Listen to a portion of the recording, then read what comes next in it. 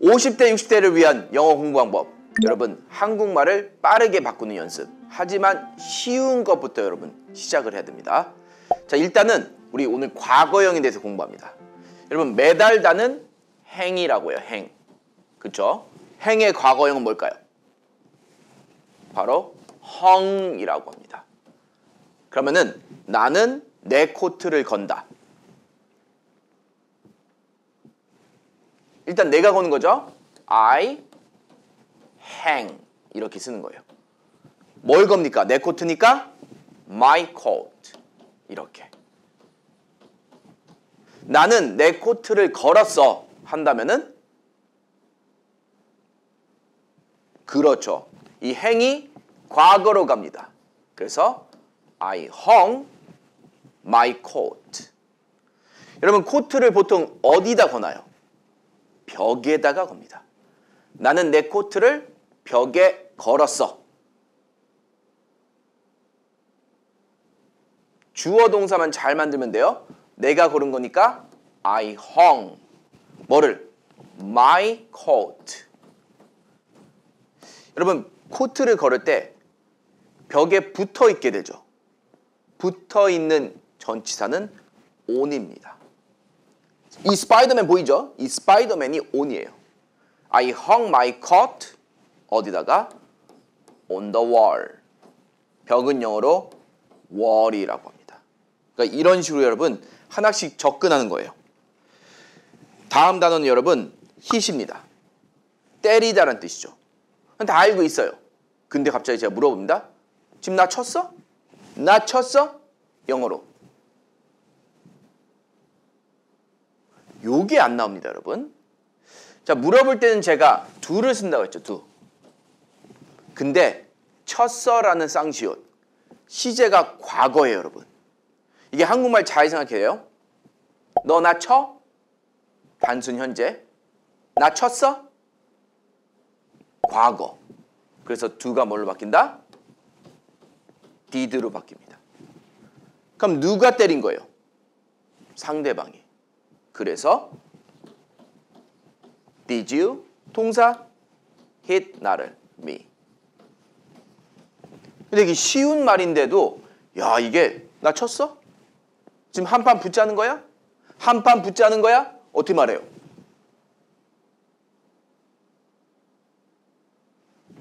그러면 이 한 판 이걸 생각하면 안 돼요, 안 돼, 한 판. 한 판 하면은 뭐 한판 승 유도입니다. 그러면 이 한판 붙자라는 말은 단순하게 말하면 뭡니까? 너 나랑 싸우고 싶어? 이렇게 가야 돼요. 그러니까 우리는 한국말을 우리가 알고 있는 이디옴이라고 하죠. 수거로 사용을 합니다. 근데 이거를 되게 단순화시키는 작업. 50대, 60대를 위한 공부 방법이에요. 지금 너 나랑 한판 붙자는 거야? 그래서 바꾸면은 물어보니까 두입니다. 너는 원하니? You. 원하다. 그렇죠. 동사 나오죠. 여기까지 나와야 돼요. 뭘 원합니까? 싸우는 거. fight. 나와 함께 싸우는 거니까 with me. 근데 얘도 동사, 얘도 동사입니다. 이 사이에 to. Do you want fight with me? You wanna fight with me? 이겁니다. 이게 한판 한판 붙고 싶어? 요거예요. 그러니까 이런 식으로 여러분 쉽게 만드는 방법을 만들어야 돼요. 너 어제 친구 만났어? 바꿔볼까요? 어제 친구 만났어? 바꿀 줄 알아야 돼요. 만났어. 이거 미연 만나 생각하면 안 돼. 과거네, 과거. 빨리 나와야 돼요. 그러니까 did you? 요게 나와야 돼. 만나다 meet. 너의 친구 your friend. 이렇게. 자, 이게 유튜브를 보면은 뭐 밑을 쓰지 말라고 해요. 자, 이거 50대, 60대들한테는 필요 없습니다. 우리 무조건 쉽게 가는 거예요. 뭐밑 대신에 hang out with, meet up with 이런 거 쓰라고 합니다. 사실은. 근데 어려워 처음에. 그냥 우린 만나다 meet이에요. 맛있는 건 delicious. 그쵸? 맞나? 이렇게 바꾸는 연습을 연습 정말 해야 됩니다. 그래서 did you meet your friend? 근데 한국어와 영어를 바꿀 때 한국어는 친구라고 하지만 영어에서는 뭐가 중요하면 숫자가 중요해요. 자세히 생각해. 조금만 더 생각해 보자고요. 친구 만나. 친구 한 명 만나요? 여러 명 만나요? 그건 여러분 주관적인 겁니다. 한 명 만나면은 이렇게 friend. 여러 명 만난다면은 friends. 요거는 여러분 주관적으로 가면 돼요. 친구 만났어? Did you meet your friends? 어제 친구 만났어? Did you meet your friends yesterday? 이렇게 나올 때까지. 주말에 친구 만나? 요거는 여러분 did you 아니에요? 친구 만나라는 소리 만나 만납니다. 자 얘는 과거가 아닙니다. 보통 하는 거는 단순 현재라고 해요. 그렇죠 여러분? 그래서 did you가 아니라 do you 만나다 meet 친구죠? 너의 친구네? 여러 명을 할게요. your friends. 주말에 on weekend 이렇게 쓰면 돼요. 자, 하루나 이틀은 날짜 앞에는 전치사 on을 씁니다. 근데 보통 주말에 만나는 거죠. 일반적인 주말입니다. 그래서 s를 붙이면 더 좋아요. 근데 이런 건 여러분 나중에 해도 돼요. Do you meet your friends on weekends? 이렇게. 이거 여러분 계속 연습해야 됩니다. 자 보세요. spend 뜻이 뭡니까? spend 쓰다입니다. 쓰다. 과거형은 spent라고 하죠. 근데 우리가 이거를 이렇게 쓰다라고 외우면은 모자를 쓰다는 쓰고 있는 상태예요. wear. wear의 과거형은 were 이렇게. 이거 뭐 동사의 3단 변화 이렇게 외우면 안 돼요, 여러분. 빨리빨리 나올 때까지 합니다. 또 쓰다. 편지를 쓸 수 있죠? 편지 쓰다의 쓰다는 write. 과거형은 그렇죠. wrote. 또 쓰다. 컴퓨터를 쓰다. 바로 뭡니까? use. 과거형은 used. 이렇게. 또 행동으로 뭔가를 쓰는 거. put on. put on. 가능하죠? 과거형은 put on 이렇게 씁니다. 그러니까 쓰다를 여러분 이렇게 외우면은 이만 헷갈리는 거예요. 헷갈립니다. 또 맛으로 쓰다. 뭔가 이렇게 한약 먹을 때 쓰죠. 한약 쓰다. 그 쓰다는 bitter. 이 한약이 쓰면 배트입니다. bitter. 그래서 얘는 형용사이기 때문에 앞에다가 비동사를 많이 써주죠. 그러니까 우리가 spend 쓰다 이렇게 외우는 건 좋아요. 하지만 여러분 정확하게 처음에 외우지만 헷갈리지 않는다.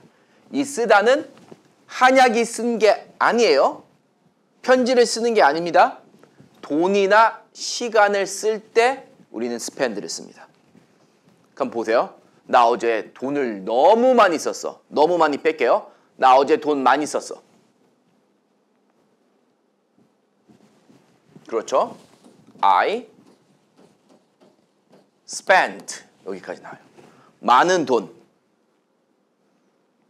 일단 막 던지세요, 여러분. 좋습니다. 많은 어디서 들어본 것 같아. many.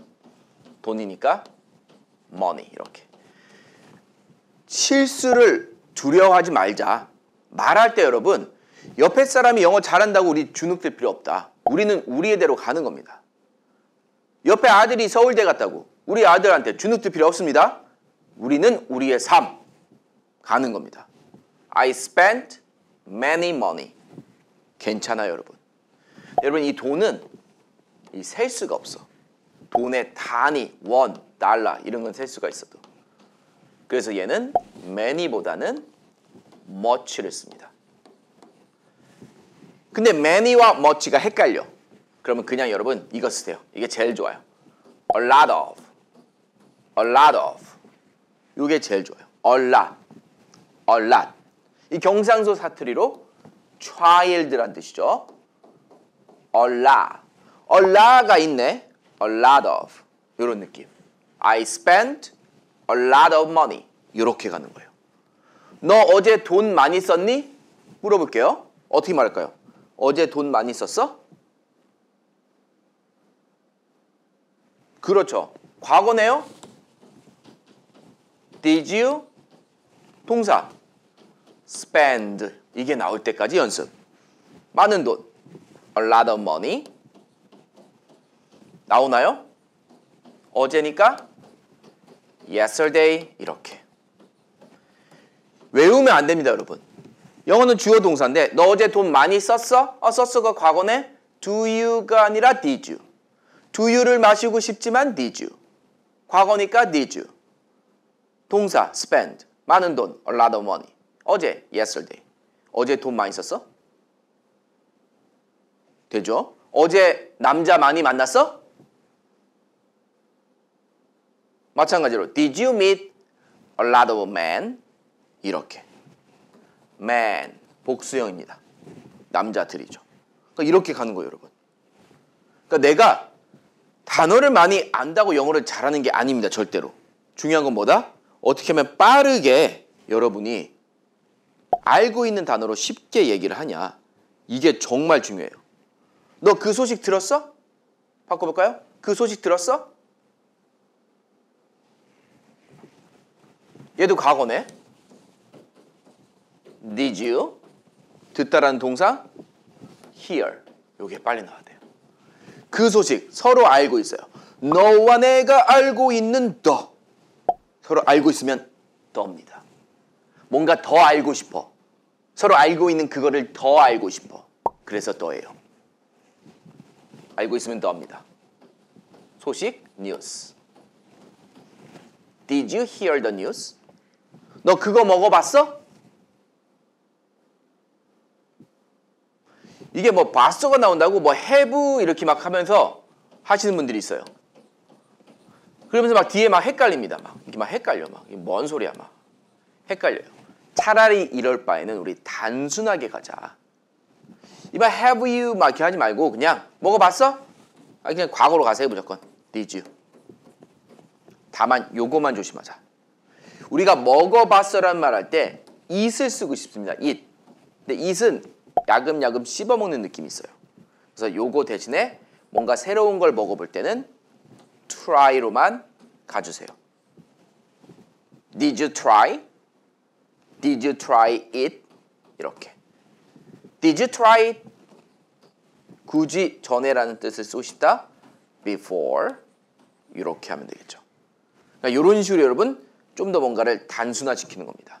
그러니까 제가 또 이렇게 영어를 알려주면 댓글이 막 이게 틀린 영어인데 괜찮습니다, 여러분. 영어 초보자들은 완벽하게 말할 필요 없어요. 그냥 딱딱딱 세 개 맞추는 연습만 빠르게 계속하면 돼요. 이런 연습 여러분 정말 중요합니다. 너 점심값 안 냈잖아. 어떻게 말해요, 여러분? 너 점심값 안 냈잖아. 안 냈다가 뭐지? 헷갈리지 마세요, 여러분. 뭔가 돈을 내는 거는 여기 우리나라 말로 내다입니다. 내다. 뭐 돈을 내거나 전기세를 내거나 가스비를 내거나 뭐 점심값 뭔가를 내는 거는 무조건 pay를 씁니다. 그러니까 우린 pay, 지불하다 이렇게 외우니까 이게 표현이 죽는 거예요. 사실 지불하다라는 뜻 별로 안 써요. 너 점심값 어제 안 내고 도망갔잖아. 그러니까 이게 말이 안 나오는 겁니다. 왜냐? pay는 지불하다로만 알고 있어. 아닙니다, 여러분. 뭔가를 내다는 건다 pay예요. 비용을 낼 때는 다 pay입니다. 너 점심값 냈어 하면은 냈어 물어보는 거니까 과거네 did you. 그 다음 동사 써보세요. pay. 점심값. lunch. 이렇게 쓰면 되겠죠. Did you pay lunch? 좋아요. 근데 여러분 이 pay가 뭔가를 내는 거예요. 직접적인 돈과 관련된 걸 내지 않으면은 그 어떤 목적이 있어서 그 목적을 내는 겁니다. 그래서 전치사 for를 써줘요. 자, 내가 돈을 내요. 돈은 직접적으로 내는 거죠. pay money. 계산서를 냅니다. 직접적으로 그 계산서 내는 거예요. pay the bill. pay the bill. 근데 점심은 직접적인 비용은 아닙니다. 그래서 이 목적으로 돈을 지불한다 해서 Did you pay for lunch? Did you pay for lunch? 이렇게 씁니다. 그러니까 이렇게 여러분 하나씩 정말로 이 동사와 우리가 정말 많이 쓰는 한국말과 연결시키는 연습 저와 함께 하면 돼요. 아마 유튜브 중에서 이렇게 가리킨 사람은 저밖에 없습니다. 그래서 여러분 잘 듣고 해야 돼. 너 점심값 안 내고 도망갔지? 너 도망갔지? 자, 일단 도망가다. 이거 도망가다. 자, 얘도 여러분 도망가다를 외우지 마시고 머릿속에 그림을 그리세요. 도망가는 거는 걸어가요, 뛰어가요. 뛰어가는 거죠. 걸어가는 사람 없습니다. 그래서 일단 뜁시다. run. 뛰는 거예요. 그럼 뛰면서 상대방으로부터 멀어집니다. 그래서 run away라고 해요. 이게 멀리 떨어지면 away. 축구 좋아하시죠? 축구에서 홈 경기가 있고 away 경기가 있어요.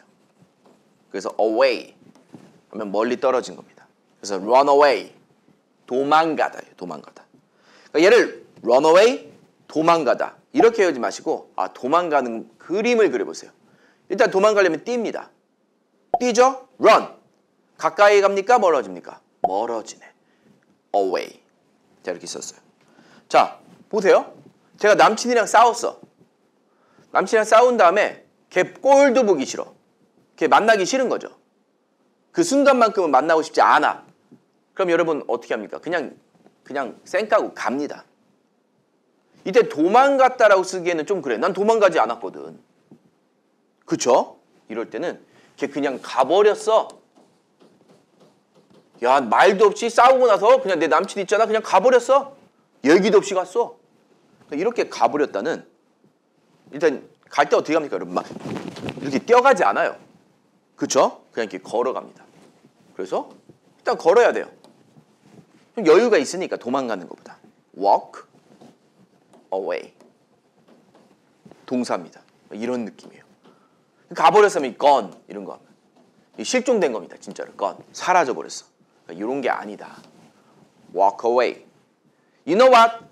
I argued with my boyfriend yesterday and he just walked away. 이해가시죠?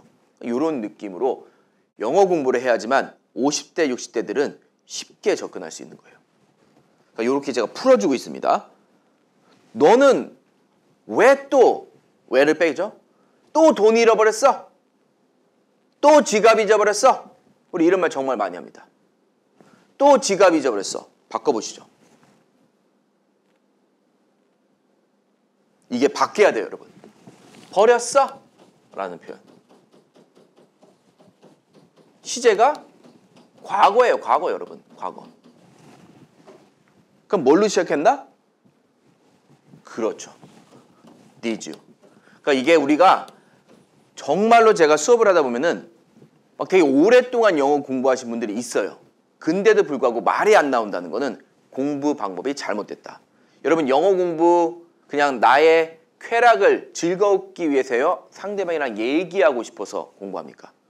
당연히 얘기하고 싶죠. 해외 나가면 한마디라도 하고 싶어. 그러면은 공부 방법을 바꾸세요. 사람들을 만나서 말을 하고 틀린 거에 대해서 스트레스를 받지 마세요. 즐겨야 됩니다. 버렸어? 또 잊어버렸어. Did you? 동사 잃어버리다.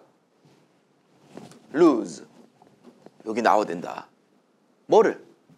지갑. Wallet. 근데 영어는 여러분 되게 구체적인 언어입니다. 제가 구체적인 언어라 했죠? 누구의 지갑이에요? 요런 게 어려운 거예요. 제가 수업을 하다 보면은 특히 이제 70대 나이가 더 들수록 영어 공부를 더 힘들어하는 이유 중에 하나가 한국말에 정말로 많이 집착을 해요. 그러니까 지갑 또 잊어버렸어라는 말을 편하게 나와 우리는 한국말에 집착을 하니까.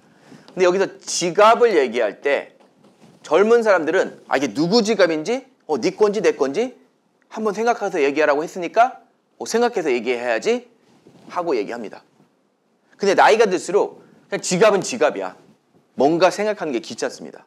그래서 이런 것들을 자꾸 빼먹고 얘기하는 경우가 많아요.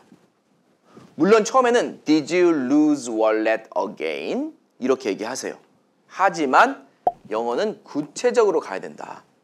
그래서 Did you lose your wallet? 이렇게 얘기해라. 또니까 again? 이렇게. 이런 것들을 여러분 정말 많이 연습해야 된다. 그렇죠? 제가 지금 즉흥적으로 문장을 만들고 있는 거예요. 여러분 전화를 끊다. 행업이라고 해요. 행업. 그러니까 이게 여러분 공부를 할 때 혼자서 공부하면 영어가 힘든 게 행업, 전화를 끊다. 행업, 전화를 끊다. 뒤돌아서면 까먹습니다. 아이고 500원 주고 까먹었슈 이런 느낌이 되는 거예요. 생각해 봅시다. 행은 거는 거예요. 어디다 거는 거예요? 위에다가. 놀라지 마세요, 여러분. 옛날엔 전화기가. 이 사진 보이죠? 이렇게 생겼어요. 공중 전화기가. 그래서 내가 통화를 하고 나면은 이렇게 위에다가 끊었습니다. 그래서 위에다 걸다 행업 전화를 끊다라는 뜻이 돼요. 그래서 너 전화 왜 끊었어? 전화 왜 끊었어? 한번 바꾸면 그렇죠. 일단은 왜부터 영어는 무조건 나요. why. 끊었어 라는 뜻이 과거입니다. 그래서 어떻게 말한다? 어, 과거네? Did you? 여기까지 여러분 잘 만들었어요. 주어까지. 그 다음 동사가 필요합니다. 끊다라는 동사. 걸어서 끝내. Up. 뭐를? 서로 알고 있는 전화니까 the phone. 이렇게. Why did you hang up the phone? 이런 식으로 여러분 문장이 나올 줄 알아야 돼요. 그러니까 우리가 과거 시제 공부할 때 뭐 동사의 3단 변화 막 외우면서 그렇게 공부하지 마세요. 저는 개인적으로 3단 변화 외우는 거 특히 막 이런 거 있죠. break, broke, broken. 이게 동사의 3단 변화. 형태가 달라. A, B, C형이다. 이렇게 공부하는 사람도 있어요. 이거 정말 안 좋습니다. 왜냐? 자, 얘와 얘는 솔직히 동사입니다. 근데 마지막에 있는 건 얘는 동사가 아닐 수도 있어요. 동사가 사실 아니에요. 근데 이걸 동사의 3단 변화라니까 이걸 동사로 보는 거야, 사람들이. 그래서 핸드폰 고장 났으면 my phone broken 다 이러고 있는 겁니다. 얘는 여러분 동사 아니에요. 동사 아닙니다. 정말 중요하다. 그래서 얘와 얘를 두 개만 일단 외우세요, 무조건. 또 빨리. 3단 변화 표 보고 외우지 마시고 직접 여러분이 문장을 만드는 거예요. 나는 너의 돈을 숨겼다. 이거 바꿔볼까요? 나는 너의 돈을 숨겼다. 어떻게 말해요? 나오나요, 여러분? 3단 변화 많이 공부했는데 안 나옵니다. 그러니까 이렇게 즉흥적으로 I hid your money 이렇게 나와야 된다. 그러니까 과거형은 여러분 순발력입니다. 너 왜 내 돈 숨겼어? 바꿔보세요. 그렇죠? 왜니까 why. 어 과거네 did you 동사 여기는 hide. hid라고 쓰면 안 돼요. 왜냐? 얘 자체가 과거라는 시제가 이미 나왔습니다. 그러니까 얘는 굳이 과거 쓸 필요 없죠. 원래 그대로 쓰면 돼요. 좋아요. 문법적으로 공부하되 연습을 많이 해다. Why did you hide? 누구 돈?